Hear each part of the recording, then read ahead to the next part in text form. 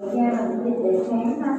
Thì cái bài này thật ra là bạn nào học chuyên khoa da thì có thể đã có thể hơi quen biết rồi.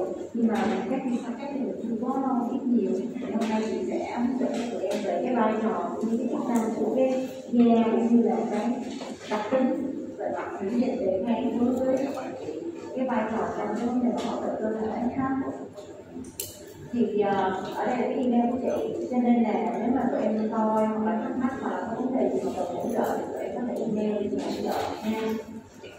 À, cái bài này á là thật ra là nghe tập trung chút xíu đi cái bài ngày hôm nay á, thì ờ, chị đã nộp đề thi rồi. Cho nên sau khi đã nộp đề thi rồi thì chị sẽ biết là các bạn sẽ thi cái gì trong cái bài này ha. Cho nên chỗ nào chị nhấn vào chỗ đó thì các bạn rất để ý ha bạn nào không đi học thì đáng chịu, nha. Rồi, có một bài này thôi mà bộ môn bắt chị phải đọc tới 20 câu cách và hai câu hỏi từ bộ nhá. Cho nên là các em ờ, cứ thư thả để có thể tập tận hưởng cái bài này để cho cái 20 câu thì chắc là phải cho nhiều lắm, chứ còn không thể làm cho bạn đâu thôi, nhé. Rồi, đầu tiên đó là mình sẽ có thể hiểu được cấu trúc mô học và phân tử của hàng rào bảo vệ da thứ hai là phải hiểu được chức năng của hàng rào bảo vệ da. Và thứ ba là làm sao chúng ta có thể liên hệ được cái đối loạn trong cấu trúc và chức năng của hàng rào bảo vệ da với triệu chứng lâm sàng của một cái bệnh lý rất là thường gặp đó là viêm da lưỡi địa chưa thì đầu tiên chúng ta cũng có ba phần. Vậy thì đầu tiên á, da của chúng ta là gì? Da là một cái cơ quan rất là đặc biệt, nó là một cái cơ quan được coi như là lớn nhất và bao phủ bên ngoài của cơ thể và cấu tạo của da gồm có ba lớp là lớp thượng bì lớp bì và lớp hạ bì. Thì lớp thượng bì nó nằm phía trên đây. Nó ngăn cách với lớp bì ở cái lớp người ta gọi là lớp màng tái ở bên dưới người ta gọi là lớp bì. Lớp bì thì chủ yếu rằng là cái kết cấu liên quan đến cái mạch máu để nuôi da. Với thứ hai nữa là nó có một cái hệ thống cái sợi elastin và collagen đang ngồi ở cái trong cái lớp bì này. Được chưa? Rồi, cái lớp hạ bì chủ yếu của nó đó là gì? Đó là mô mỡ đó chính là mô mỡ nên da của chúng ta nó có tính chất là gì? Nó có tính chất rất là nền và dẻo dai và có tính chất đàn hồi rất là tốt. Là do cái cấu trúc ba lớp và của cái đặc tính của mỗi lớp như vậy nó sẽ có đặc tính khác nhau. Và khi mà nói đến mụn bì á, thật ra chúng ta không phải nói đến một lớp tế bào hay một loại tế bào mà trong mụn bì chúng ta có rất nhiều loại tế bào khác nhau. Thì trong mụn bì từ dưới lên trên á, thì thông thường chúng ta sẽ có tổng cộng là năm lớp thì chúng ta sẽ có một lớp duy nhất ở bên dưới này, chúng ta gọi là lớp đáy. Được chưa? Lớp tế bào đáy. Thì cái lớp tế bào đáy này là cái lớp tế bào duy nhất có khả năng tăng sinh. Và chính là cái những cái tế bào mà nó sẽ sinh ra, sản sinh ra những cái tế bào bên trên. Nó sẽ nó sẽ bị hóa dần đi lên trên. Và cái lớp tế bào đáy này nè, nó rất là quan trọng. Bởi vì sao?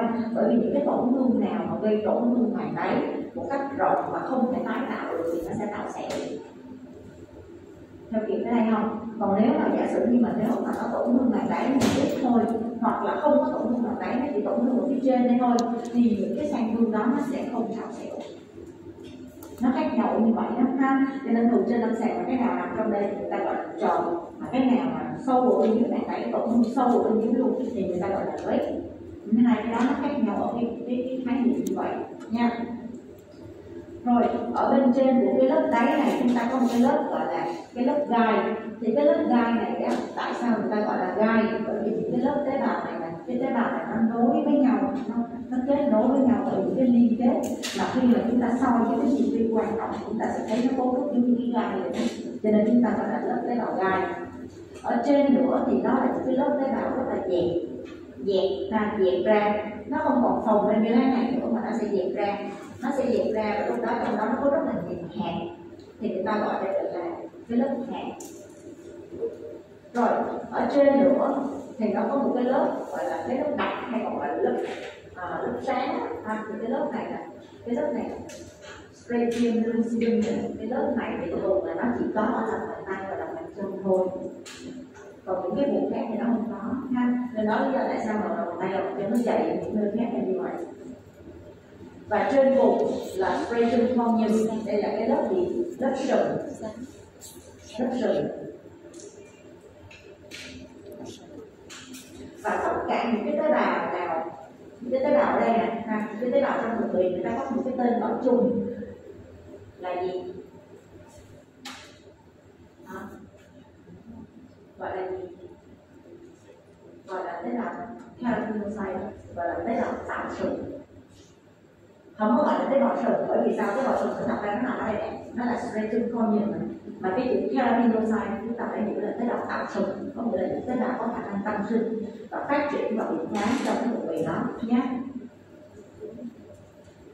rồi, những cái vùng nào là da nó mỏng, ví dụ như vùng xung quanh mặt, hoặc là những cái vùng như nếp, hoặc là những cái người như em bé này, hoặc là người già, thì cái lớp da nó sẽ mỏng hơn được chưa cho nên là khi mà chúng ta sử dụng thuốc hoa, đặc biệt trên những cái đối tượng là em bé hoặc là người già hoặc là những cái vùng nào nó mỏng, thì bắt buộc là chúng ta phải cân nhắc tại những cái nơi đó, cái tác dụng phụ của thuốc nó sẽ tăng lên. Tại những nhất cái thứ hai là nguy cơ hấp thụ hệ thống tại vị trí đó nó sẽ tăng lên. Được chưa? Cái hàng rào bảo vệ da đó chúng ta phải hiểu rằng cái da này nó có rất là nhiều cái chức năng, nhưng mà cái chức năng quan trọng nhất của da đó chính là bảo vệ cơ thể.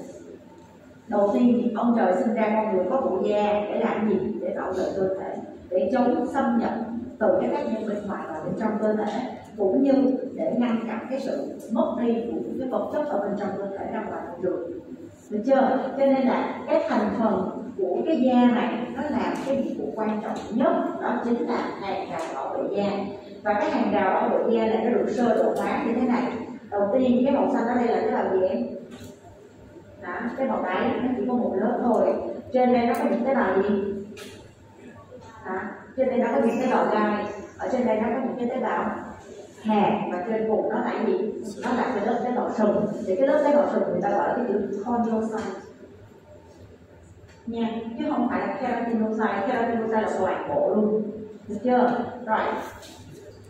Thì những cái tế bào đáy này nó có chức năng là gì? Là nó tăng sinh.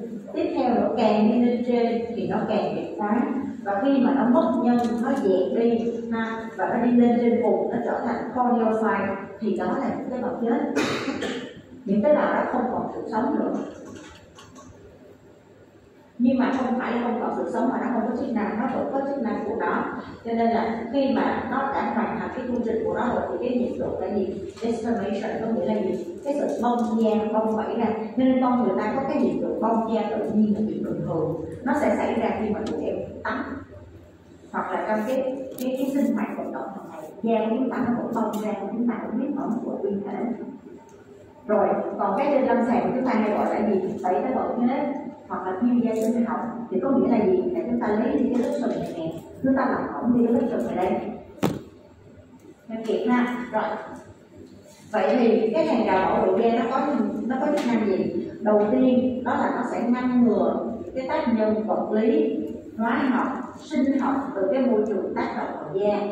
Thứ hai nữa là gì? Là nó chống cái hiện tượng mất nước, mất các ion và chất điện giải từ da ra môi trường ngoài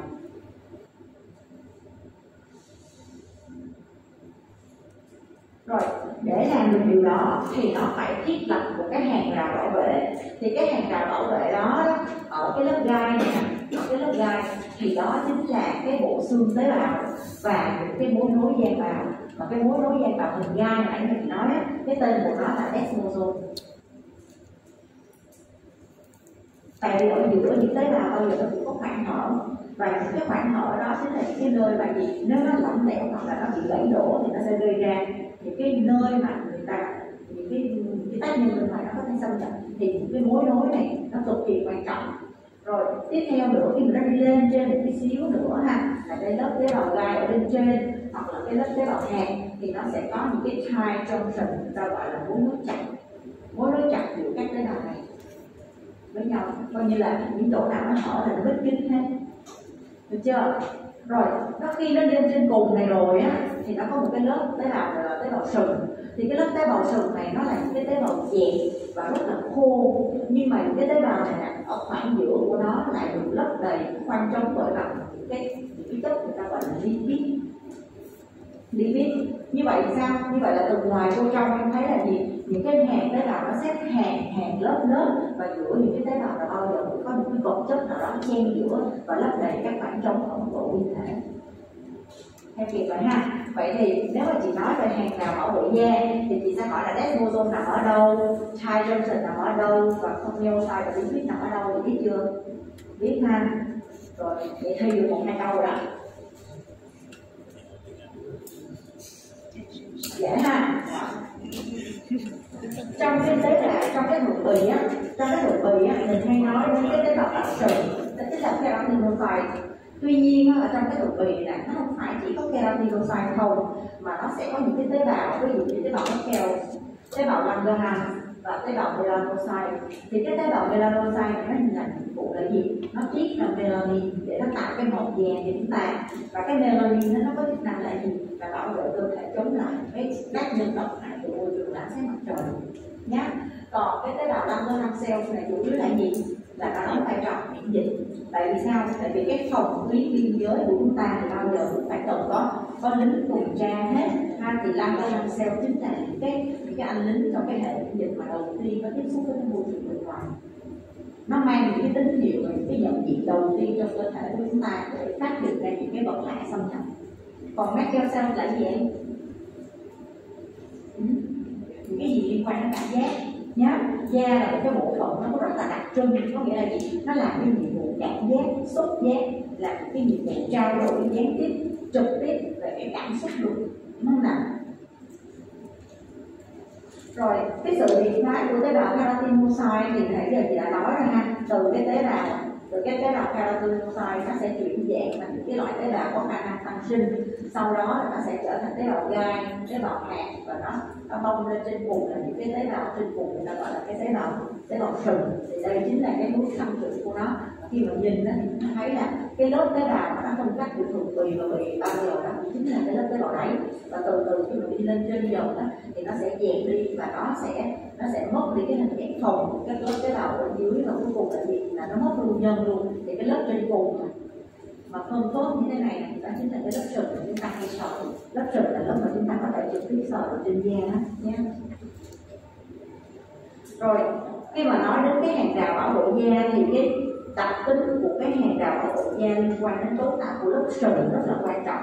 Bởi vì sao? Cái lớp sừng này được xem là cái lớp ngoài cùng và là hàng rào bảo vệ da, và nó sẽ bao gồm là gì? Bao gồm tế bào sừng và bao gồm lipid những tế bào sừng đúng không? Tại vì chị đã nói rồi và cái đó nó cực kỳ quan trọng một cái đặc tính đó là gì? Nó chống thấm nước.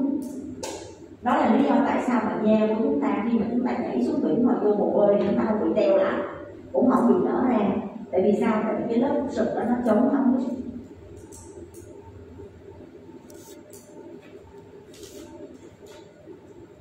Và nếu mà nó có cái hiện tượng rối loạn trong cái cấu tạo hàng rào bảo vệ da, và đặc biệt đó là nó rối loạn trong cái vấn đề tạo sừng và khiếm khuyết của các lipid ở giữa các lớp sừng đó, thì lúc đó da của chúng ta sẽ không đảm bảo được cái chức năng của hàng rào bảo vệ da nữa. Thì lúc đó da sẽ xuất hiện những cái vấn đề là suy giảm chức năng hàng rào bảo vệ da và dẫn đến tình trạng da. Nha. Rồi, cấu trúc mô học của hàng rào bảo vệ da. Cái này quan trọng lắm nha. Thì sẽ có ha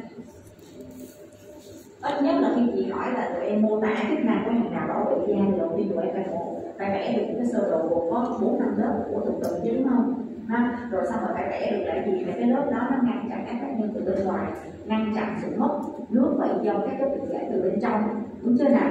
Và sau đó là gì? Là cái cấu trúc mô học của hàng rào ở thời gian này, nó là một cái cấu trúc bền chặt, bao gồm sự tham gia của tất cả các lớp. Trong đó quan trọng nhất đó chính là cái phần trên cùng trên cùng đó trong đó tại sao cái lớp hạt này nó quan trọng? Bởi vì nó chứa rất là nhiều cái thể lamella hay còn gọi là thể lá, ha? Thì cái thể lamella này khi mình nhìn dưới cái nhân vi thì nó bị hạt. Cho nên đó lý do tại sao cái lớp này người ta gọi là lớp hạt rồi, khi mà cái lớp hạt này nó đi lên trên rồi thì nó không còn dạng hạt nữa mà nó sẽ hòa vào trong. Nó sẽ phản hòa vào trong cái bên ngoài của cái không gel xay này, nó tạo thành một cái cái cái axit béo tự do và ceramide nó giống như là nó bung nở những cái hạt nó ra và nó phóng thích những cái axit béo tự do và ceramide vào cái khoảng giữa gian bạc của các tế bào sừng theo kiểu ha khi mà nó lớn lên, những cái tế bào này nó chết đi, nó không còn nhân nữa, thì những cái hạt này nó sẽ phóng thích vào khoảng giữa nhân bào đây?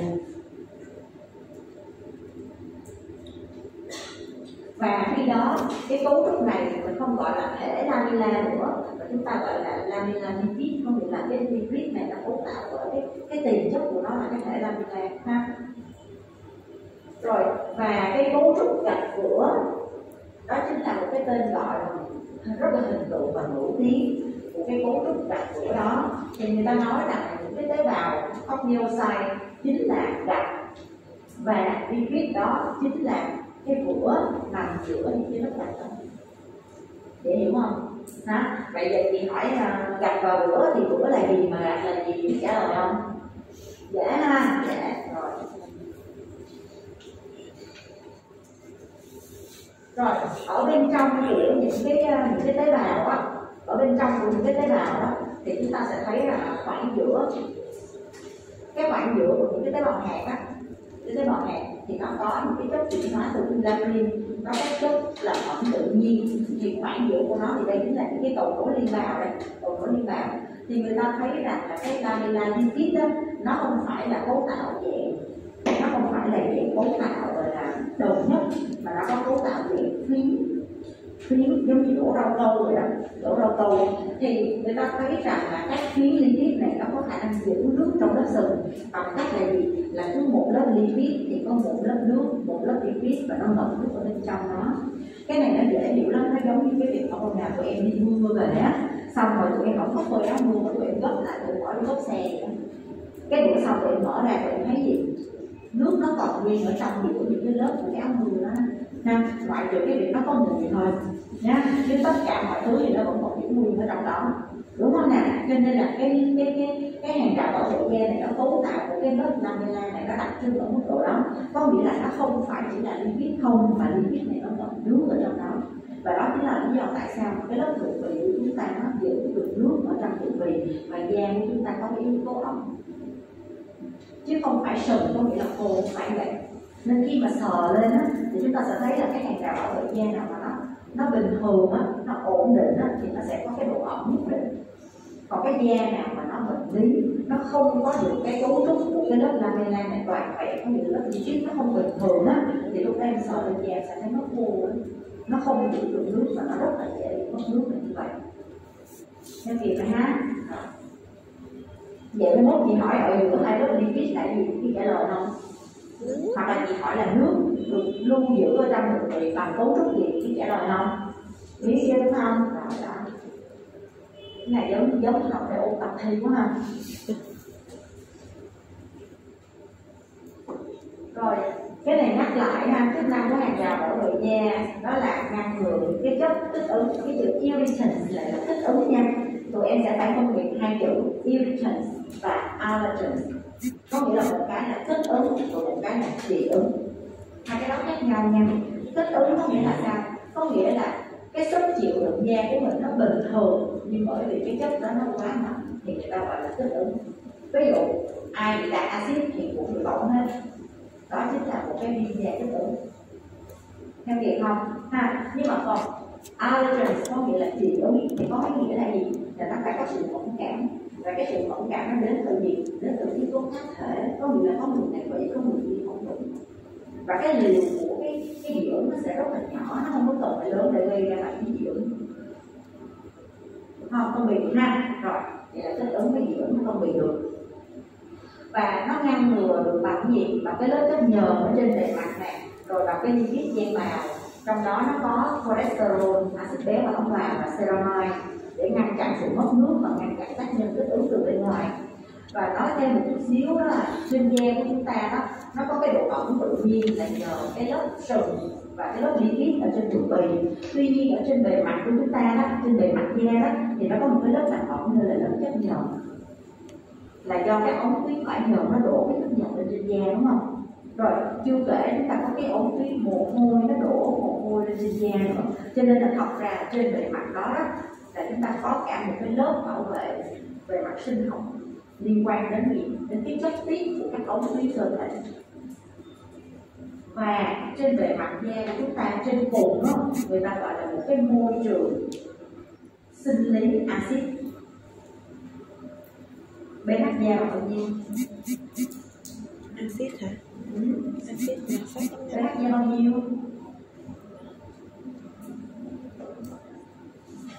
không biết luôn một gia để quý vị chắc chắn là phải biết à, rồi được rồi. Nó có cái sản phẩm sữa tắm pH Johnson năm chín năm biết không? Biết đó không? Hai quảng cáo nhiều lắm xài ok nha dạ. tại vì sao? Tại vì cái pH của nó là pH sinh lý. Nhá cho nên pH sinh lý da chúng ta là 4.5 đến 6.5 tùy theo vùng vùng nào càng ẩm ướt, pH càng cao? Ví dụ nách vậy môn những cái nơi nào càng ẩm ướt thì người ta nói là cái pH nó càng cao. Và khi pH nó càng cao như vậy thì cái khả năng nó ức chế sự tăng sinh vi khuẩn và vi nấm nó giảm đi. Và đó chính là lý do tại sao bạn gì vi nấm, vi trùng viêm kẽ nó hay xuất hiện ở những vùng kẽ nếp như vậy ha, ví dụ em bé mặt tả lâu ngày nó bị viêm thâm tả, người lớn lâu ngày nằm tại chỗ, nó bị lỡ lấy vùng môn thâm tả. Rồi, người nào mà béo phì nhiều những cái vùng viêm nếp và nắp nếp bẹo hay nếp viêm nó đều dễ bị lỡ hoặc bị thâm hết nha, cho nên cái pH tự nhiên chính là cái môi trường ức chế sự sản sinh của vi khuẩn và vi nấm nên nếu chúng ta duy trì được cái đó thì nó sẽ tăng cường cái hạt đào bảo da. Và nếu mà pH nó bị phá vỡ, nó nó kiềm hóa thì lúc đó cái da của chúng ta sẽ rất là dễ bị nhiễm trùng vi nấm. Vậy hỏi pH bình thường của da là bao nhiêu biết không? Biết ha, bạn nào không đi học không biết. Rồi. Trong không khí chúng ta rất là nhiều những nguy rồi mũi ha. Rồi, nó sẽ, nếu mà nó có giảm bất ngờ bề mặt và nó thiếu lipid gen vào hoặc là những cái tế bào da nó bị dị dạng nó bị rối loạn chức năng ha, thì nó sẽ rất là dễ có cái hiện tượng là đi vào của nhiễu nguy và vi khuẩn cũng như là sự bốc nước từ bên trong đi ra. Thì lúc đó da của chúng ta sẽ rất là khô. Cho nên trên lâm sàng đó người ta sẽ minh họa một hình ảnh như một bệnh nhân bị viêm da cơ địa. Có nghĩa là da, cái bệnh nhân đó, nó rất khô. Nó không giữ được nước và nó có những cái khoảng hở trong cái hàng rào ở da. Cho nên cái dị nguyên từ bên ngoài môi trường rất là dễ xâm nhập vào và gây ra hiện tượng nhiễm và nó bắt nguồn từ cái việc là gì? Là những cái những cái em bé mà bị viêm da cơ địa đó, người ta thấy rằng là nó rối loạn nhiều nhất, đó là sự thiếu hụt của cái lớp lipid gen này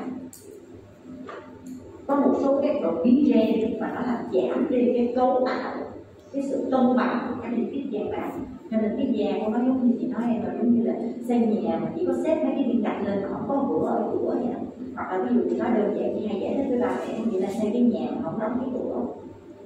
Được chưa? Ha cho nên là các bạn sẽ hiểu ở đây. Rồi. Nãy giờ mình nói nhiều đến cái phần phía trên đây ha. Rồi bây giờ mình đi xuống tí xíu. Thì ở bên dưới đây, cái lớp mà lớp mà, lớp hạt á, thì nó sẽ có một cái nối mối chặt ở đây. Nối mối chặt ở đây. Nối mối chặt nó giống như là những cái những cái then cài tăng cường vậy đó. Nãy giờ mình nói là mình nói lớp lớp sừng còn giờ bắt đầu mình xuống tí xíu nữa, mình nói tới cái lớp hạt thì ở cái lớp hạt này nó có một cái cái cấu trúc rất là quan trọng, đó là tie junction có nghĩa là mối nối chặt và cái mối nối chặt này nó rất là quan trọng trong cái việc là nó tăng cường cái sự vững chắc của những cái tế bào ở trong cái vùng lớp hạt này. Và từ đó nó cũng ngăn chặn cái sự đi vào, cũng như là đi ra của những chất không cần thiết luôn. Vậy thì chị sẽ hỏi là mối nối chặt nằm ở vị trí nào? Chị trả lời không? Biết ha. Rồi. Cái mối nối chặt á người ta nói là cái thai junction này á, nó là cái tên của cái mối nối thôi. Nhưng mà cái protein mà tạo ra cái thành phần của cái mối nối chặt này á, là protein nhá, cho nên bất cứ một cái sự rối loạn nào, đồ biến nào, nó dẫn đến cái sự suy giảm biểu hiện của protein thì đều dẫn đến cái việc là gì? Là suy yếu chức năng của mối nối chặt. Và từ đó là gì? Là chúng ta lại có một cái khoảng hở trong cơ từ đó sẽ có những cái luồng đi vào và đi ra khỏi cần thiết nha.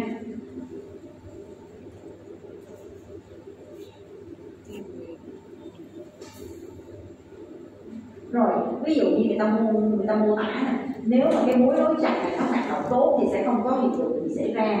Tuy nhiên nếu như nó mối mối nối chặt này á, mà nó lại bị nó lại bị suy giảm á, thì nó sẽ mở ra những cái con đường mà trên đó nó sẽ có những cái dị nguyên mà nó có thể đi sâu vào bên dưới thông qua những cái con đường mà trước đó bị chặn đi bởi mối nối chặt và lúc đó những cái tế bào mà nằm gần tại chỗ, như là những cái tế bào nằm Lohans thì nó sẽ nhanh chóng nhận diện được những cái tác nhân này và nó sẽ kích hoạt cái hệ thống miễn dịch theo kịp vậy ha, rồi. Ở đây cái hình này cũng cho tụi em thấy là gì? Là tế bào làm ra cells là nó nằm xen kẽ giữa những tế bào cực tùy và nó là những cái tế bào và nó là dendritic cell, những tế bào nhiều tua tế bào nhìn trong và chính vì cái cái khả năng nhìn trong của nó như vậy mà sao? Nó đã chặn rất một những cái con đường để có thể nhanh chóng đó những cái engine ở bên ngoài này để nhận những tác nhanh nhất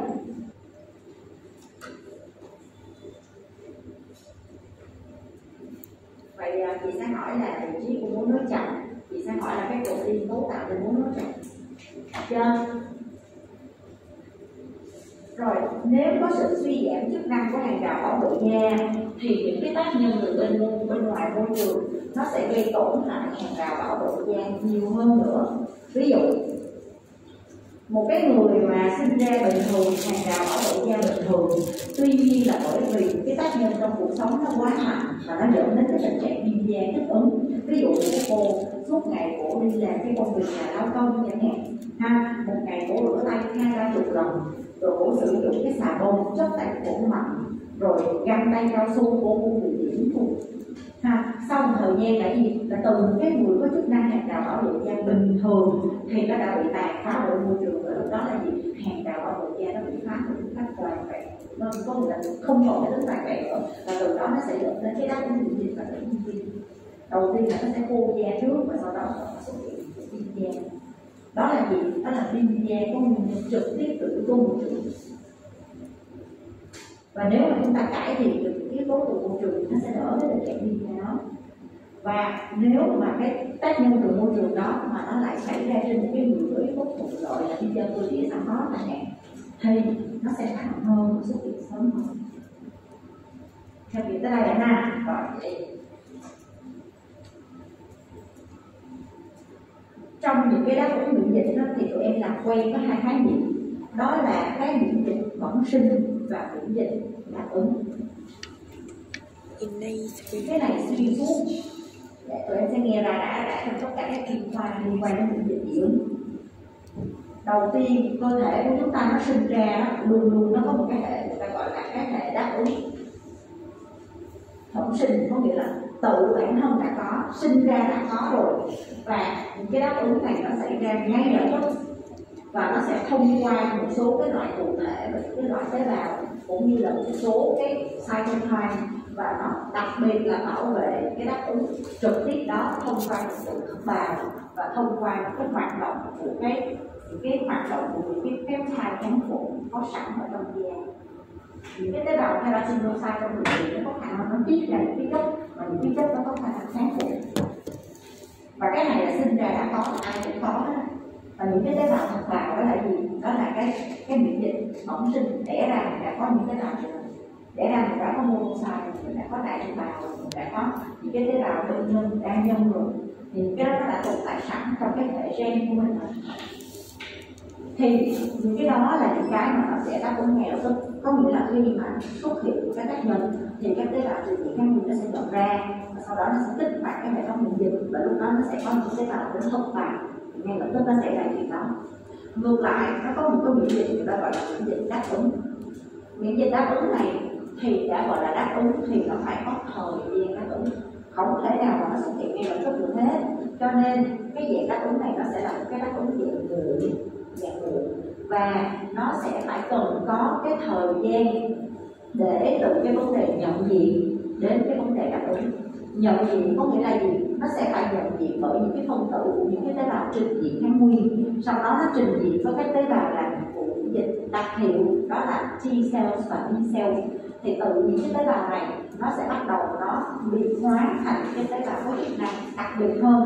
Ví dụ như đầu tiên á, ví dụ như T cell thì nó sẽ có những cái tên như thơ đúng không? T cells. Thì sau khi mà tích ứng nó thì nó sẽ biến thành TH1, CH2, TH17 hoặc là T điều hòa chẳng hạn thì nó sẽ làm cái nhiệm vụ chuyên biệt. Hoặc là nó kích hoạt tế bào B thì tế bào B theo cái tín hiệu đó nó sẽ tạo ra gì? Kháng thể đặc hiệu được chưa? Và trong cái quá trình mà kích hoạt cái hệ thống miễn dịch như vậy, thì luôn luôn nó sẽ chừa một cái đội quân người ta gọi là memory cell, có nghĩa là những cái tế bào nhớ. Và tế bào nhớ này nó có chức năng là gì? À để cho học hờ lần sau, nếu mà cơ thể có tiếp nhận cái tín hiệu tương tự như vậy, thì nó sẽ không mất thời gian để nó phản nữa. Cho nên đó người ta gọi là quá trình mẫn cảm và khi mẫn cảm xong một lần thì lần sau nó nhớ luôn và lần sau gặp lại nó sẽ ảnh liền luôn, bởi vì nó đã hết sẵn hết tất cả các kiểm tra rồi. Theo kịp ha, cho nên cái bảng này nhớ để dùng chị? Chị sẽ hỏi tụi em về sự khác biệt giữa miễn dịch bẩm sinh và miễn dịch mắc phải trong cái thời gian đáp ứng này cái tế bào đáp ứng này, phản ứng đáp ứng này, và trí nhớ miễn dịch nhá, rồi. Ờ, để kích hoạt cái phản ứng miễn dịch tại da thì cơ thể của chúng ta nó có những cái những cái tế bào và trên những cái tế bào đó nó giao tiếp với nhau bởi những gì? Những cái receptor, những cái thụ thể. Và khi mà nó giao tiếp tế bào với nhau thì cái chỗ đứa này với cái chỗ đứa kia nó có thể giao tiếp với nhau bởi những gì? Những cái hóa chất trung gian được không? Ví dụ như truyền đến hiệu điện ở hóa chất trung gian thì cái hóa chất trung gian đó nó sẽ bám được cái cục thể. Và khi mà nó kích hoạt cái cục thể nó sẽ gây ra một cái chuỗi phản ứng nội bào ở trong đó. Và trong đó nó sẽ hoạt hóa hoặc ức chế một số cái phần việc nào đó mình cái thấy là đó. Thì ở trong da đó, chúng ta nhấn mạnh cái vai trò của một cái receptor, đó là toll line receptor. TLR à, ha. thì cái toll line receptor này nó có chức năng nhận diện các phân tử có trên các bề mặt của vi sinh vật. Và cái toll line receptor này nó hiện diện dày đặc và rất nhiều trong thượng bì và nó hiện diện trên các tế bào keratinocyte, Langerhans và melanocyte. Và tại sao nó được gọi là cầu nối giữa miễn dịch nguyên phát và miễn dịch thứ phát? Bởi vì sao? Bởi vì nó nằm trên bề mặt của tế bào trình diễn kháng nguyên. Và khi mà nó được kích hoạt, thì nó sẽ quay qua, nó kích hoạt hệ miễn dịch đáp ứng. Và chính vì lý do đó mà nó nói là collagen receptor và các tế bào trình diễn kháng nguyên chính là cầu nối để kích hoạt miễn dịch nguyên phát và miễn dịch thứ phát hoạt động. Và tại da nó có một cái cơ chế đặc biệt, đó là gì? Đó là một khi mà nó nhận diện các vi sinh vật bằng cái toll receptor đó thì ngay lập tức nó sẽ kích thích những tế bào keratinocyte và tế bào dendritic cells. Bên cạnh cái việc mà hoạt hóa đáp ứng miễn dịch thứ phát thì nó sẽ tiết ra ngay các peptide kháng khuẩn. Đây là một miễn dịch gì peptide kháng khuẩn. Miễn dịch gì? Bẩm sinh. Có nghĩa là ngay lập tức nó sẽ tiết ra các bài kháng khuẩn. Và cái kháng bài kháng khuẩn này nó đã ngay lập tức và không chờ đợi để làm để bảo vệ cơ thể và cái cách thai kháng khuẩn này là nó rất là đặc trưng ở những cái hàng rào bảo vệ da tỳ quý như da có nghĩa là nó cần ngay cần liền. Nó không thể đợi và trong cái bệnh viêm da cơ địa đó, thì người ta thấy rằng là cái sự biểu hiện của thôn receptor nó lại giảm. Nó lại giảm. Và đó là lý do tại sao mà gì? Mà cái đáp ứng miễn dịch nguyên phát và thứ khác sau đó của cái bệnh nhân. Viêm da cơ thì nó lại bị rối loạn và người ta thấy là bởi vì nó giảm cái hiện tượng là biểu hiện của folate receptor cho nên nó giảm luôn cái sự tiết ra của các thai kháng khuẩn. Và người ta thấy cái các thai kháng khuẩn nó giảm, nó khiến cho da bệnh nhân bị viêm da cơ bị rất dễ bị nhiễm trùng. Và cái việc mà giảm các thai tháng một đó, nó dẫn đến một cái việc là gì? Là bệnh nhân càng dễ bị nhiễm trùng hơn và càng bị viêm nhiều hơn. Và người ta thấy là cái mức độ giảm của các thai tháng một trong viêm da cơ địa có mối liên hệ chặt chẽ với mức độ nặng. Có nghĩa là bệnh càng nặng thì người ta thấy cái thai tháng một càng giảm. Theo thế này ha. Vậy thì cái suy giảm chức năng hàng rào bảo vệ da trong cái bệnh viêm da cơ địa nó sẽ đến từ cái việc suy giảm cấu trúc của chức năng hàng rào bảo vệ da là cái lớp lipid da bào và thứ hai nữa là nó giảm những cái miễn dịch thông qua cái việc mà sử dụng của con là receptor và gián tiếp là gì? Giảm cái thai kháng khuẩn.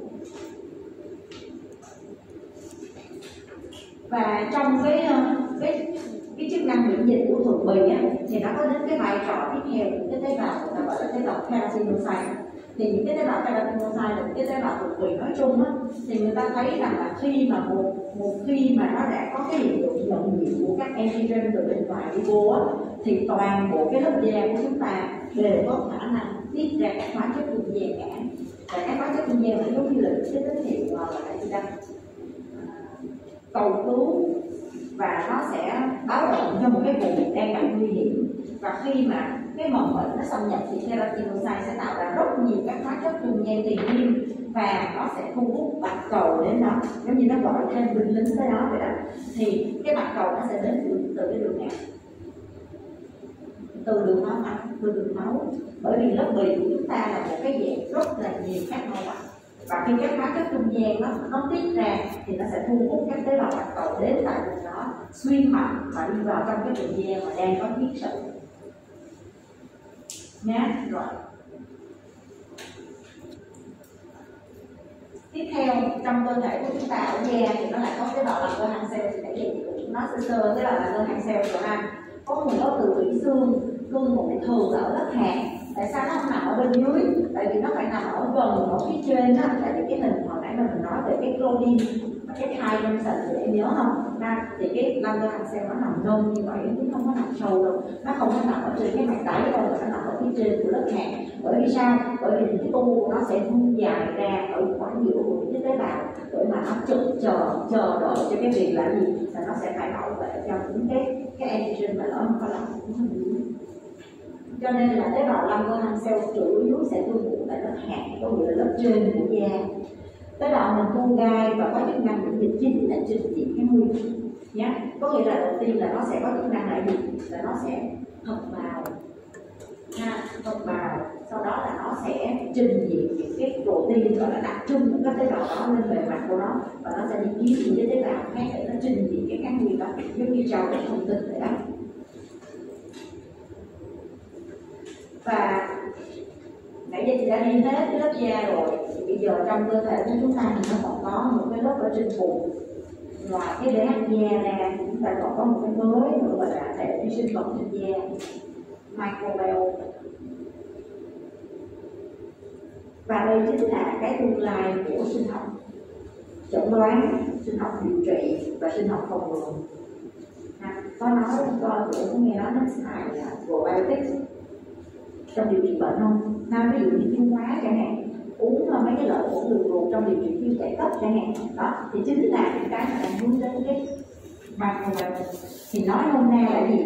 Là trên cơ thể của chúng ta nó có rất là nhiều các hệ vi sinh vật thường trú và nó sẽ tập hợp vào rất nhiều các vị trí mà chủ yếu đó là những cái vị vị trí nó phơi bày ra ngoài ví dụ, chúng ta sẽ có da nè, ống tai nè, nước bọt niêm mạc miệng là cốt mạc trong đường tiêu hóa đường tiết niệu sinh dục, có nghĩa là tất cả những cái bề mặt nào mà có khả năng phơi nhiễm với các tác nhân bên ngoài, thì nơi đó chúng ta có một cái thảm vi sinh cộng rất là trù phú.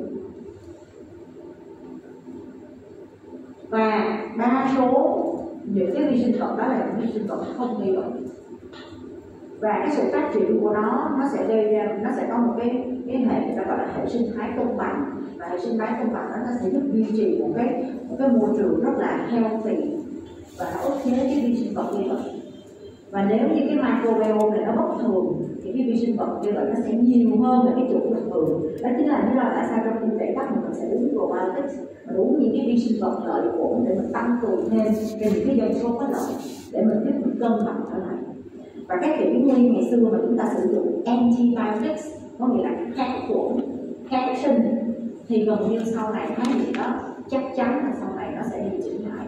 Và chúng ta đang muốn cái việc là gì cân bằng để vi sinh chứ không phải là kháng khuẩn nữa. Bởi vì sao? Chúng ta kháng khuẩn có nghĩa là chúng ta giết chết một số loại vi sinh vật chúng ta không mong muốn. Nhưng cái kháng sinh đó nó cũng làm tổn hại các vi sinh vật mà có lợi. Giống như uống kháng sinh thì bị chảy đúng không nào? Nên nó rất là thường gặp nên cái việc mà về về lâu về dài sau này á, thì cái việc sử dụng kháng sinh hoặc là cái việc mà sử dụng ức chế miễn dịch sau này nó sẽ giảm bớt. Và cái kỹ nguyên mới của chúng ta đang mong chờ là gì? Là y học tái tạo, là y học tập cân bằng nghĩa là chúng ta sẽ thay vì chúng ta ức chế một loại tế bào T gây bệnh nào đó, thì chúng ta sẽ tìm cách làm sao cho cái liệu pháp tăng cường cái tê điều hòa nó tốt hơn theo kịp chị nói không? Đó, cho nên là về tương lai lâu dài tụi em sẽ nghe nói nhiều đến microbiome probiotics prebiotics, symbiotics và postbiotics. Đó là một bài rất là dài ha. Biotics thì có nghĩa là những cái phương pháp can thiệp mà liên quan đến vi khuẩn, người ta gọi là biotics. Và tùy theo cái tính chất của nó mà người ta có nhiều tên gọi khác nhau. Và thường là tụi em quen một chút là probiotics, có nghĩa là vi sinh vật có lợi, có nghĩa là khi chúng ta uống mà, chúng ta uống cái vi khuẩn có lợi. Chưa vi sinh vật thường trú thì ở hai khỏe mặt trong tử cung, thì cơ thể thai nhi là vô trùng và được phủ một lớp chất gây, gồm có những yếu tố kháng khuẩn. Và khi mà sinh ra thì trẻ sẽ tiếp xúc với hệ vi sinh vật từ âm đạo mẹ và từ môi trường bên ngoài và sẽ bắt đầu hình thành cái hệ vi sinh vật thường trú đó ở vùng mũi họng và vùng đường chỉ trong vòng khoảng vài giờ đến một ngày thôi. Và người ta nói rằng là cái đứa nhỏ mà được sinh ra mà từ cái đường âm đạo á thì cái hệ vi sinh vật của nó hoàn toàn khác so với một em bé mà sinh ra mổ đường mổ đẻ vi sinh vật khác hẳn nhá cho nên là cái đó nó sẽ ảnh hưởng đến cái việc thậm chí người ta còn thấy là cái uh, cái sinh mà sinh mổ nó còn ảnh hưởng đến suy được lâu dài trong một số bệnh lý ví dụ nó nói có một số nghiên cứu họ thấy là nó tăng cái tần suất bệnh trên dưới nó bởi vì sao? Bởi vì nó thay đổi cái hệ microbiome. Ha những cái yếu tố ảnh hưởng đến hệ vi sinh vật của người như là thuốc nè, dinh dưỡng nè. Dinh dưỡng thì trẻ của mẹ sẽ luôn luôn tốt, còn trẻ uống sữa công thức thì tương tự. Những cái những cái trẻ mà uống sữa công thức thì cái sự thay đổi của cái hệ vi sinh vật đó thì nó cũng sẽ tương tự như người lớn. Trong cái giai đoạn đầu nó sẽ có thể chưa quen nên là nó sẽ bị tiêu chảy do cái việc không hấp thu và sau đó nó sẽ tái cân bằng trở lại. Và cái hệ vi sinh vật của người thì nó sẽ thay đổi rất là nhiều vị trí là độ pH, độ ẩm, nồng độ oxy, quần áo, nghề nghiệp, môi trường sống và nhiệt độ. Và cái này là hệ vi sinh vật này không ai đúng ai cả. Không ai đúng ai bởi vì sao? Bởi vì nội tất cả những yếu tố này không là tụi em đã thấy không ai giống mình cả. Và mình cũng không giống ai hết. Nên cái hệ vi sinh vật của mỗi người là khác nhau. Có những đứa nhỏ mà nó bị nó bị mụn nhọt hoài luôn. Đúng không nào? Ba mẹ nó cho nó đi khám vài khám nào cũng đi, không nổi nhọt chỗ này cũng nổi nhọt chỗ khác. Không giải thích được. Mặc dù là mẹ nó cũng rất là sạch sẽ không phải là không sạch sẽ. Thì người ta giải thích bởi cái hiện tượng mất cân bằng của có thể vi sinh vật trên da và đôi khi không có giải thích được bởi vì nó có quá nhiều yếu tố ảnh hưởng đến nha. Sau này rồi có những cái những cái điều trị mà vi sinh vật ngay trên da có nghĩa là mình có những cái probiotic postbiotic và prebiotic của mình hoa lên trên da có nghĩa là trực tiếp mình thay đổi và cải thiện cái sự mất cân bằng của microbiome trên da nha. Rồi, cái vai trò của vi sinh vật thường trú thì nó kích thích hệ miễn dịch là và bảo vệ cơ thể. Người ta cứ nghĩ rằng là vi sinh vật ở đó để chơi thôi nhưng hiện ra cơ thể của chúng ta không có cái gì mà nó dư thừa cả ngay cả cái việc mà chúng ta có cái được thừa thì nó cũng chẳng thừa đúng không nào? Ha cho nên cái hệ vi sinh vật này á, là nó có cái vai trò rất là quan trọng trong cái vấn đề là kích thích hệ miễn dịch, bảo vệ cơ thể và chức năng dinh dưỡng. Trong đó cái việc kích thích miễn dịch bằng cách là người ta thấy rằng vi sinh vật thường trú là một cái cơ chế kích thích sản xuất ra kháng thể và đôi khi nó có khả năng là nó gây nhiễm trùng cơ hội, nhưng đa số là gì? Là nó không gây bệnh rồi, tiếp theo, nó có tính chất bảo vệ cơ thể. Tiếp xúc tác nhân gây bệnh trước tiên có nghĩa là gì? Là nếu có một cái con nào đó nó gia nhập một cái quần thể đó, thì nó sẽ bị ức chế và nó sẽ bị cạnh tranh cái nguồn thức ăn. Cho nên là nó sẽ không phát triển được. Ha, tiếp theo là nó sẽ ức chế một số receptor và cơ chế cạnh tranh dinh dưỡng ha. Và cái vi sinh vật nó có khả năng sản xuất một số cái chất chống lại vi sinh vật gây bệnh, có nghĩa là axit béo là peroxide là bactericin thì tất cả những cái này nó có tính chất kháng khuẩn có nghĩa là vi khuẩn nội trú lại tiết ra các chất kháng khuẩn để kiềm khuẩn những cái loại vi sinh vật vi bệnh và một số cái vi sinh vật đường ruột thì nó có khả năng giúp cơ thể tổng hợp vitamin K cho nên cái vai trò của microbiome trong cái sinh học ngày nay rất là được quan tâm. Và đây chính là cái phần mà chị update thêm cho bài của năm nay để chị năm vừa rồi chị sẽ không, chị không nói về microbiome nhưng năm nay chị thêm một chút xíu. Để khi mà mai mốt mà chị em học những cái chuyên khoa khác đó mà chị nói đến cái vấn đề can thiệp liên quan đến microbiome thì sẽ em sẽ hiểu. Đó là gì? Đó là chúng ta sẽ hướng tới cái việc là cân bằng của cách chuẩn microbiome ở một cái quần thể nào đó nhé. Rồi, đáp ứng miễn dịch thứ phát thì nãy chị đã nói rồi ha. Đáp ứng miễn dịch thứ phát đó là khi mà có tác nhân từ bên ngoài đi vô thì nó sẽ kích hoạt phản ứng miễn dịch thông qua cái hiện tượng là gì? Là cái hiện tượng gọi là trình diện kháng nguyên. Và sau đó là nó sẽ dẫn đến một cái đáp ứng miễn dịch, sau đó đặc hiệu hơn liên quan đến tế bào B và tế bào C, tế bào T. Rồi, đây là cái pha nếu mà có những cái tín hiệu bên ngoài tổn thương vào thì những cái tế bào đen dendritic cell là ha là những cái tế bào ở trong bì và những tế bào lông Langerhans cell ở trong thường bì. Thật ra đó, hai loại tế bào này đều là dendritic cell cả nha nhưng mà bởi vì nó trong thường bì cho nên người ta gọi nó là tế bào Langerhans cell thôi. Bản chất của nó vẫn là dendritic cell. Được không? Nên nhưng mà nó ở thường bì thì nó có tên gọi là Langerhans cell.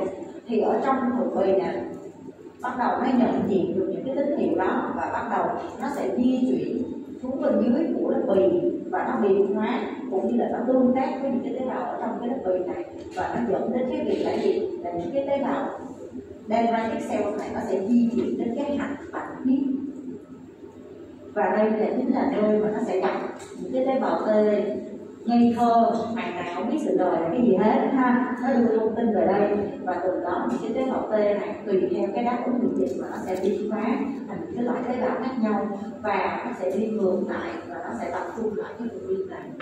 Và cái nơi biến hóa, tân sinh và phát triển của cái cái dòng mà tế bào đáp ứng miễn dịch đặc hiệu đó chính là trong hạt bạch huyết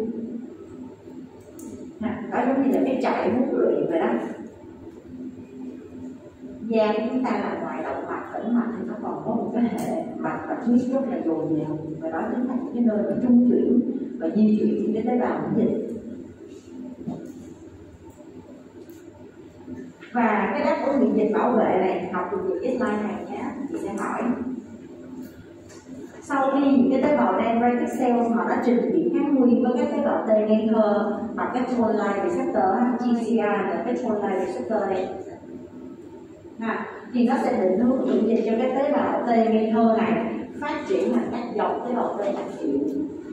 Và mỗi cái dòng tế bào T đặc hiệu đó nó sẽ tương ứng với cái việc là phát triển một số cái bệnh lý đặc trưng trong đó, nếu mà định hướng miễn dịch thông qua interleukin 12 thì nó sẽ chuyển thành TH1 thông qua interleukin 4 thì nó sẽ chuyển thành TH2 thông qua TGF beta thì nó chuyển thành T điều hòa và thông qua TGF beta của interleukin 6 hoặc là interleukin 1 của interleukin 23 thì nó sẽ chuyển thành TH7 và đây chính là những cái con đường xương sống trong cái miễn dịch học. Và tụi em sẽ sẽ gặp ra ngoài bởi vì sao? Bởi vì tương lai của chúng ta chính là gì? Kẹt sinh học. Thuốc điều trị sinh học. Ví dụ thì nói đơn giản lắm. Những cái mà liên quan đến việc khóa TH2 là nó liên quan đến bệnh lý người ta gọi là bệnh lý viêm da cơ địa. Viêm da cơ địa là một cái bệnh lý có một cái đặc ứng miễn dịch đặc hiệu liên quan đến con đường TH2 mà đã nói đến TH2 thì sẽ nói đến interleukin 4 tại vì nếu không có interleukin 4 thì không thể hướng miễn dịch doanh nghiệp không và gần đây hơn thì người ta đã có những cái cái, cái thuốc điều trị sinh học mà đã ức chế được cái interleukin 4 để điều trị bệnh. Rồi hoặc là một số cái loại tên loại tế bào khác ví dụ như là trong tất cả những cái loại tế bào t này thì nó có một cái dòng tế bào đặc hiệu rất là đặc biệt đó là T-rex T điều hòa thì cái hành trình điều hòa nó giống như là một mình trong mafia và đó trong tất cả những cái đứa này. Có thể điều hòa nó tiết ra được interleukin 10 để ức chế và điều hòa phản ứng cho nên sau này trong những cái liệu pháp ung thư, thì người ta đang mong muốn là làm sao có thể tăng cường cái số lượng, những cái hoạt động của tê điều hòa để tự nó điều hòa hơn là chúng ta được ức chế và bị giết chết những tế bào miễn khác thì bây giờ chúng ta sẽ tăng cường cái hoạt động như các cell rồi. Vậy giờ mới hỏi mà mốt thì sẽ hỏi à TH một định hướng bởi gì th hai là gì? T các cell là gì và TH 17 là gì? Và tương ứng của bệnh lý nó là gì? À, gần đây hơn thì một số cái phương pháp điều trị sinh học đã về Việt Nam thì phải nhắc nhiều đến là điều trị bảy nến. Thì bảy nến là một cái bệnh mà liên quan đến cái con đường của TH17 và TH17 thì nó sẽ bị biệt hóa và tiết ra một số các cái trung gian ví dụ như TH12, 23, 17 TNF alpha không có trên hình gì đâu tại vì nó là chuyên sâu ấy nhưng mà chỉ nói là tất cả những cái cytokine khi đó đó chúng ta đã có thuốc hết rồi. Ha chúng ta đã có những thuốc sinh học chính kháng TNF alpha kháng interleukin 17 kháng interleukin 12 23 kháng chọn lọc tên 23 về Việt Nam hết rồi. Ha, giá trung bình của một tháng điều trị dao động là khoảng 16 triệu một tháng. Và nếu mà có bảo hiểm y tế thì trả 50 phần trăm thì bệnh sẽ trả khoảng 8 triệu. 8 triệu cho thuốc điều trị sinh học và hiệu quả gần hết bệnh luôn là một con số có thể cân nhắc và điều và cái số lượng bệnh nhân hiện tại đang có thể tiếp cận được với thuốc sinh học mà hiện tại ở Việt Nam đang tốt càng lúc càng nhiều bệnh nhân không tiếp cận thì đó là một cái thông tin mà chị có thể được thêm đăng cho cái bài diễn ngày hôm nay rồi, khi mà chúng ta đi hết về pH da, microbiome trên da, cấu tạo chức năng hàng rào bảo vệ da, rồi tất cả những cái thành phần của chức năng hàng rào bảo vệ da không? Thì bây giờ chúng ta sẽ minh họa cái mô hình sinh bệnh học của viêm da cơ địa. Rồi, trong cái viêm da cơ địa thì cái khởi nguồn của nó chính là những cái khiếm khuyết trong hàng rào bảo vệ da. Cái em bé đó họ để em bé đó nó đẻ ra nó đã bị khiếm khuyết cái chức năng của hàng rào bảo vệ da rồi. Có nghĩa là cái biểu hiện của các protein mà nó đóng vai trò là cái lớp lipid gian bào nó bị yếu đi. Cho nên là những bé đó hàng rào bảo vệ da của nó kém và nó không giữ được nước. Và khi mà khiếm khuyết chức năng hàng rào bảo vệ da đó thì những cái dị nguyên và những cái vi khuẩn bên ngoài đó, nó rất là dễ xâm nhập vào trong và nó dẫn đến cái hình thành là cái độc giác miễn dịch và dẫn đến tình trạng viêm da. Và cái khiếm khuyết hàng rào bảo vệ da này là là nó lại nó, nó có một cái vòng tròn người ta gọi là vòng tròn bệnh lý. Có nghĩa là khiếm khuyết chức năng hàng rào bảo vệ da thì dẫn đến cái tình trạng là xâm nhập của vi khuẩn và các tác nhân bên ngoài. Các tác nhân và các tác nhân bên ngoài xâm nhập vào thì nó lại tiết ra những cái hóa chất mà nó lại gây làm cho hàng rào bảo vệ da tại lên nữa nên nó tích thành một cái vòng tròn chính như vậy trong cái sự bệnh trọng của da cơ địa đây đây là cái hình của một em bé ở da cơ địa bệnh này nó xuất hiện rất là sớm. Nó có thể xuất hiện từ năm, từ lúc mà trẻ mới có hai, ba tháng tuổi thôi. Và người ta nói là em bé nào mà nó xuất hiện da cơ địa dưới một tuổi, thì đó là tình trạng da cơ địa xuất hiện sớm. Và cái tình trạng đó nó sẽ nặng hơn ở những em bé nào trẻ xuất hiện sớm thì bệnh nó càng nặng rồi nó xuất hiện rủi ở trán là hai má là ở cằm và đặc biệt của cái cái dạng sữa này nè, thì nó chừa đổ tự nhiên có thể xung quanh miệng nó xung quanh mũi không có bị và đây là một cái hình rất là trực quan, sinh động ha. Triệu chứng nổi bật nhất của viêm da cơ địa là ngứa ngứa cái bé này là coi như là tự đổ mình luôn ha tự nhớ luôn. Nó rất là nó khó chịu lắm rồi một em bé lớn hơn nó cũng vậy ha đây là trẻ trạng viêm da cơ địa nhưng mà cái em bé này nè nó không giống cái em bé hồi nãy đó là đó là trên bề mặt của nó cái sang hương của nó nó dày hơn và nó có một vàng em thấy không ha thì đây là một cái sang hương viêm da cơ địa mà nó bị nhiễm trùng và cái tác nhân thường gặp nhất của nhiễm trùng trong viêm da cơ địa đó chính là bột màu vàng Staphylococcus aureus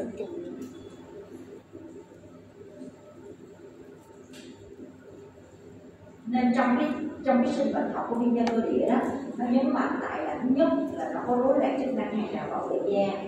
Thứ hai là nó có hiện tượng mất cân bằng của các hệ microbiome trên da. Bởi vì người ta thấy những cái bé bị viêm da cơ địa trên da thì nó rất là nhiều chủng tụ cầu vàng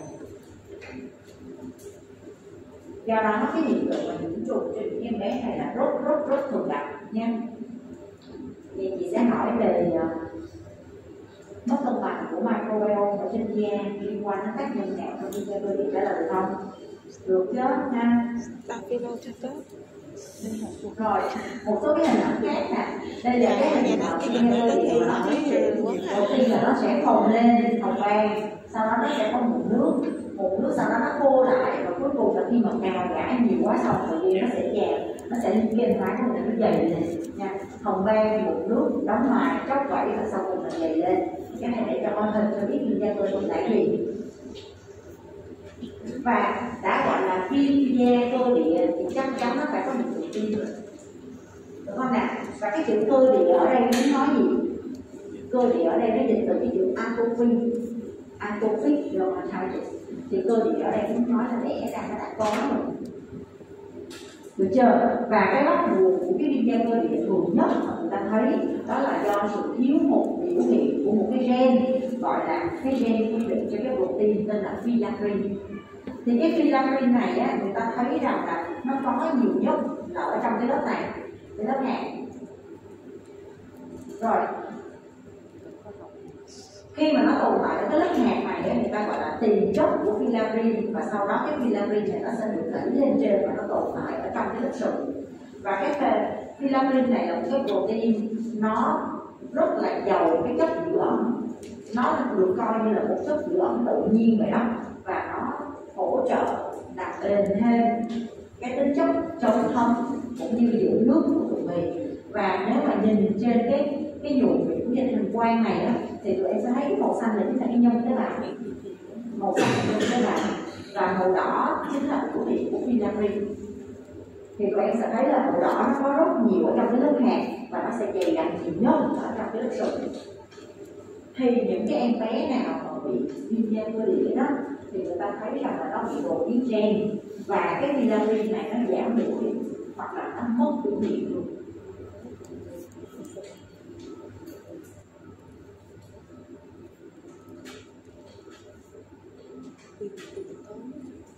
Không nào? Ha cái vitamin này nó rất quan trọng. Đó là một cái protein cấu tạo rất sự. và trên một cái em bé mà bị viêm da cơ địa người ta đã làm cái sinh thiết và người ta kiểm tra.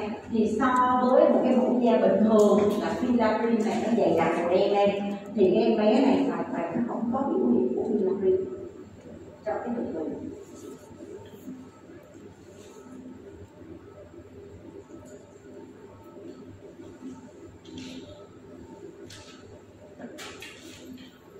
và chính vì những cái rối loạn trong cái vấn đề gen như vậy mà nó sẽ quy định là một số em bé đẻ ra nó đã có cái gen thụ cảm trong cái việc cái gì suy giảm chức năng hạt đạo bảo vệ da rồi và khi mà vừa ra một cái là xong một vài tháng đầu tiên là y như rằng tắm rửa, sinh hoạt, tiếp xúc với môi trường bên ngoài, rồi có thêm những cái vi khuẩn bên ngoài đó là tự động nó sẽ phát triển ra một cái suy giảm chức năng hạt đạo bảo vệ da thực sự và từ đó nó dẫn đến những cái viêm cho nên viêm da cơ địa trình, cái trẻ nào có rối loạn gen khiếm khuyết nhiều á nó sẽ xuất hiện rất sớm rồi ba tháng là vậy rồi nhé.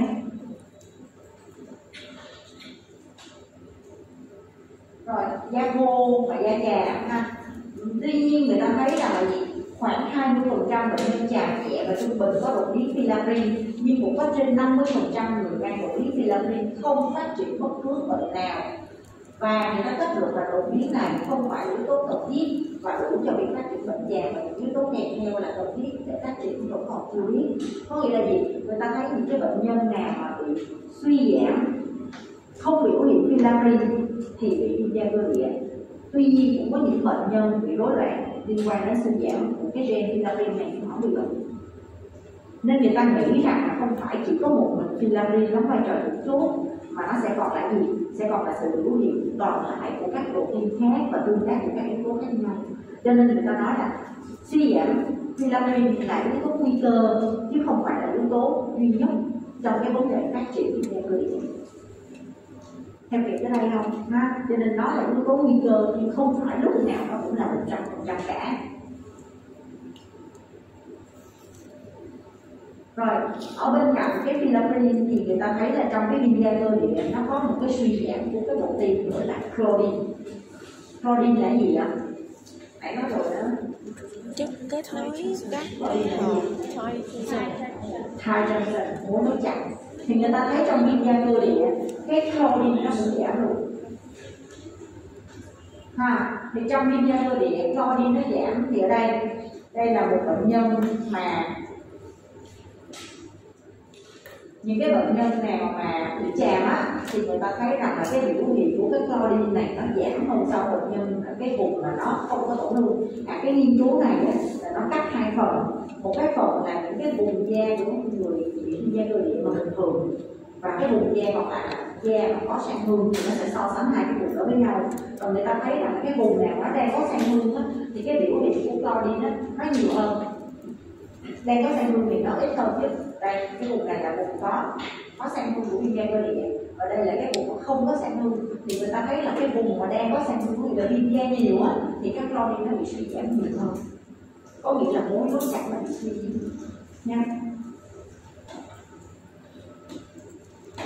Rồi, và người ta nói rằng là gì? Là trong cái trong cái sinh bệnh học của viêm gan cơ địa đó thì nó có sự suy giảm chức năng hàng rào bảo vệ da ở trong cái lớp sừng. Và cách là nó giảm filamin này thì nói rồi ha rối loạn cái cấu tạo của cái lớp lipid. Rồi, tiếp theo nữa là nó liên quan cái mối nối chặt, thì nó suy giảm các lô liên quan. Cái slide này rất là quan trọng. Nó sẽ giải thích được cái sinh cái bệnh học của viêm gan cơ địa rối loạn của não. Trong thường bì thì nó sẽ giảm vitamin và rối loạn chức năng của lipid và trong lớp bên dưới lớp hạt đó, thì nó sẽ mất cái chức năng của cái mối nối chặt. Em kịp ha? Cho nên là nếu là chị hỏi rằng là gì? Là em hãy phân tích về những cái rối loạn về cấu tạo và chức năng để dẫn đến những cái biểu hiện lâm sàng của viêm da cơ địa. Thì nó chính là cái này.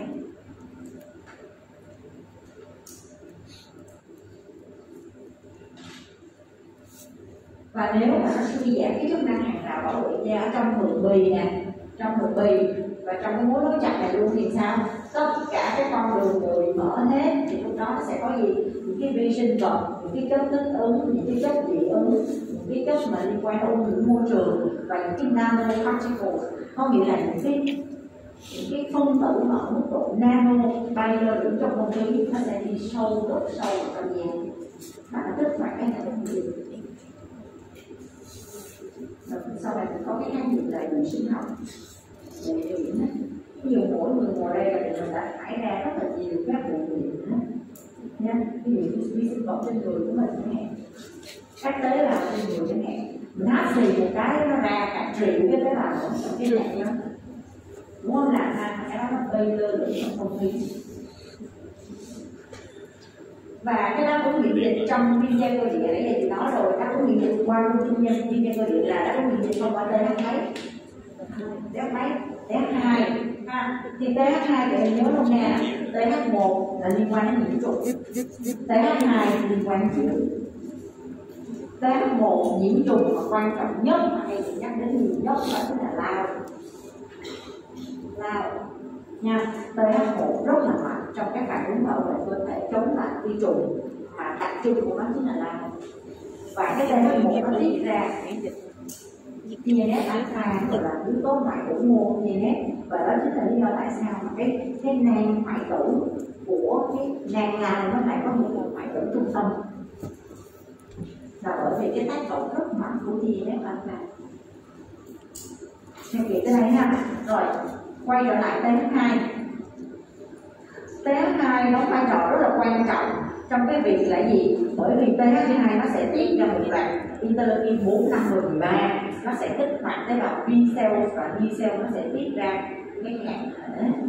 Đó chính là lý do tại sao mà TH2 đóng vai trò rất là quan trọng trong cái việc kích hoạt phản ứng miễn dịch dịch thể liên quan đến cái việc bỏng cảm dưỡng rồi trên cái sơ đồ này tụi em sẽ thấy là nó xuất hiện của interleukin 4, interleukin 5, interleukin 13 đó chính là những cái tác nhân sinh học và chúng ta có thuốc sinh học điều trị.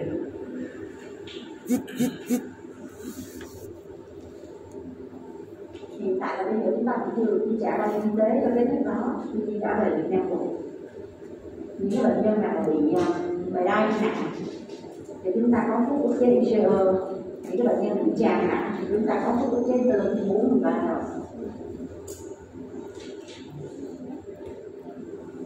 ha thì nói lại cái quá trình mà đáp ứng miễn dịch này dendritic cell là tế bào trong đường bì hoặc là trong lớp bì nó nhận diện cái tế bào, cái tế bào lạ, cái vật lạ, và sau đó nó sẽ trình kháng nguyên với cái tế bào T thơ và dưới cái tác nhân kích thích là interleukin 4 nó sẽ bị hóa TH2 và nó sẽ kích hoạt cái dòng gọi là B cell và từ đó nó tiết ra rất là nhiều các kháng thể. Và đóng vai trò rất là quan trọng trong một số các bệnh lý dị ứng. Và ký sinh trùng.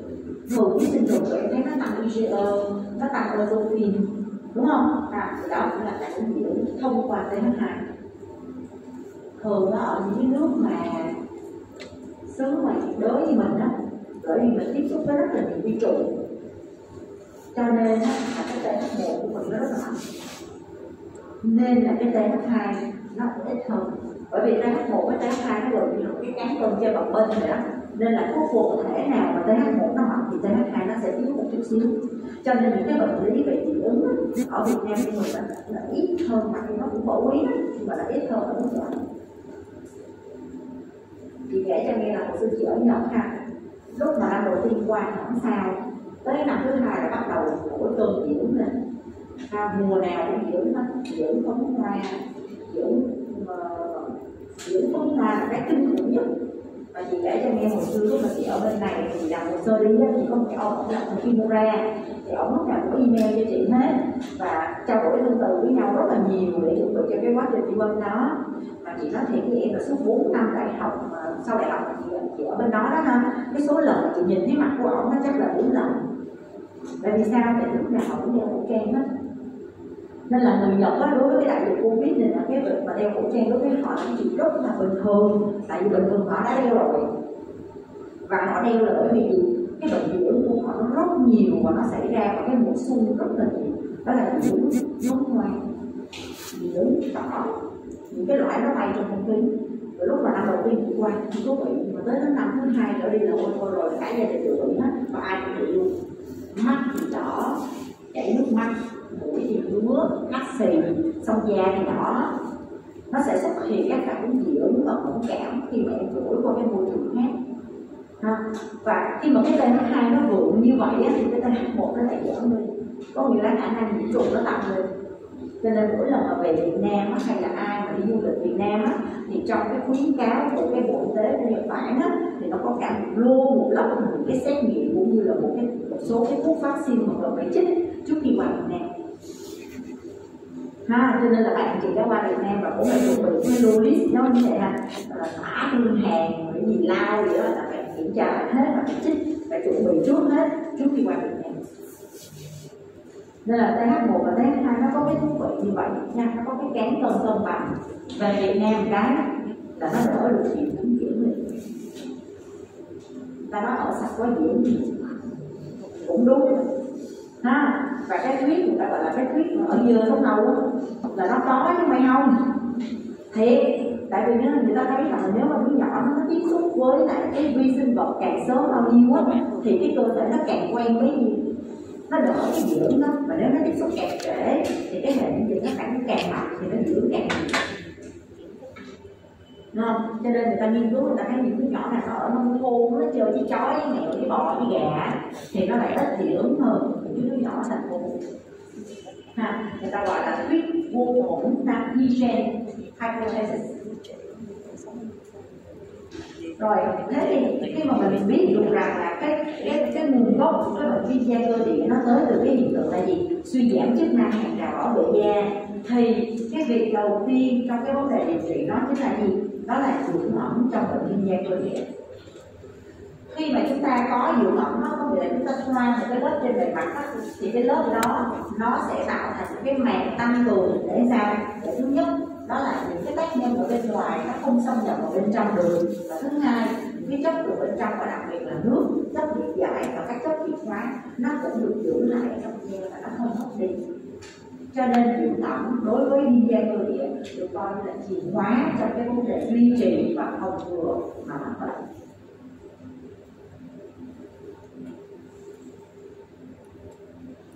Rồi, nói lại ha, ví dụ như là trong cái tình trạng viêm da cơ địa cái sức số lượng chức năng hàng rào bảo vệ da, nó sẽ nó sẽ dẫn đến cái sự xâm nhập của dị viêm và tăng cường các phản ứng liên quan đến phản ứng miễn dịch. Tuy nhiên, nếu mà chúng ta có một cái lớp bảo vệ liên quan đến cái sự lượng thực phẩm, thì lúc đó những cái dị viêm nó sẽ được giữ ở bên ngoài và nó không xâm nhập được vào bên trong, và từ đó nó sẽ ngăn ngừa cái phản ứng viêm. Cho nên cái việc ứng dụng cái việc hiểu rõ chức năng của hàng rào bảo vệ da. Trong cái vấn đề điều trị viêm da cơ địa, đó chính là gì? Ứng dụng dưỡng ẩm trong cái vấn đề điều trị viêm da cơ địa. Không phải là thói quen là dưỡng ẩm hay lâu sờ vào điện luôn nha. Nó là thói quen nên được nên được hướng dẫn và tập thành thói quen đối với những đứa nhỏ mà có yếu tố nguy cơ. Thì gần đây người ta thấy rằng là đối với những đứa nhỏ là có yếu tố nguy cơ, ví dụ như là cha, mẹ, ông bà bị viêm da cơ địa anh chị em ruột bị viêm da cơ địa, thì cái đứa bé đó nên được sử dụng dưỡng ẩm ngay từ sớm. Để củng cố chức năng hàng rào bảo vệ da để cho nó giảm đi cái hiện tượng mất nước và xâm nhập những cái dị nguyên và giảm được cái tình trạng phát triển viêm da cơ địa là sao? Nên thường trong một thành lâm sàng cũng vậy ví dụ chị khám một cái người mà họ bị trà ở mức độ trung bình nặng. Bao giờ chị cũng sẽ hỏi là gì? Có gia đình chưa? Nếu chưa có gia đình thì nếu được lựa chọn thì em hãy lựa chọn một người không bị bệnh viêm da cơ ha, mặc dù là cái dân số của chúng ta bị viêm da cơ địa nó lên tới khoảng 20 phần trăm. Nhưng mà nếu chúng ta có thể chọn được người khỏe mạnh thì con của chúng ta sẽ giảm đi được cái cái nguy cơ bị nặng. Đúng không?